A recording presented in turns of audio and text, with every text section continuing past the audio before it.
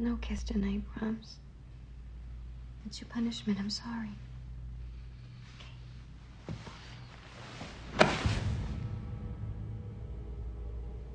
Kiss.